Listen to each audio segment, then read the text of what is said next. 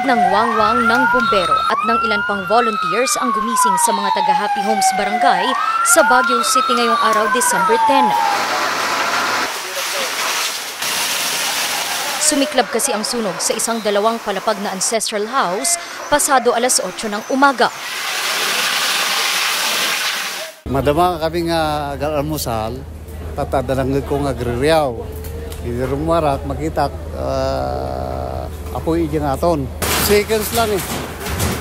Diba, bigla nga kon kasi puro kayo na kita.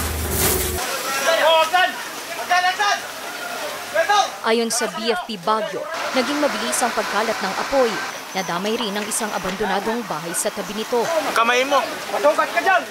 Yung pagkagawa ng bahay is uh, around uh, siguro 1990s to na-construct. Kaya made of wood la, halos lahat yung mga pagkagawa ng bahay. Buti nga wala na yung mga bata eh. Nagtamo ng lapnos sa kamay ang may-ari ng bahay dahil sa sunog.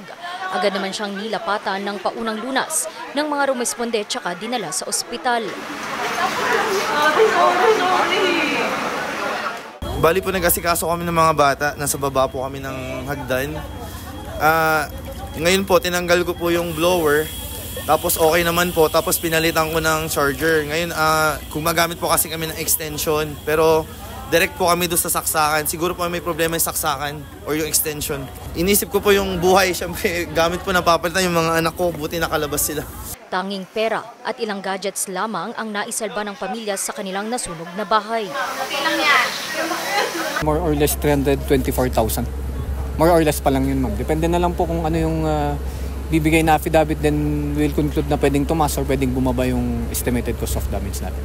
So this is until uh, under investigation pa rin. Uh, pupunta pa lang yung mga investigators natin to conduct investigation at titignan natin kung anong pinagmulan ng apoy. Umabot sa unang alarma ang sunog bago idineklara ang fire out alas 9.25 ng umaga. Randy Guzman para sa Luzon Headlines.